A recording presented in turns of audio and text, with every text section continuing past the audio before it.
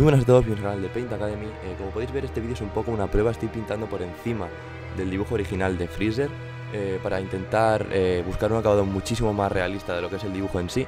Y, y espero que os guste muchísimo el resultado. Otra cosa que os quería comentar antes de dejaros con el vídeo es que me he creado un Instagram donde podéis seguirme todos los dibujos que vaya subiendo nuevos y los que no suban el canal. os lo dejaré en la descripción, ya también os lo digo, es Dave Navarro Art, que es mi nombre artístico. Y nada, espero que os guste un montón.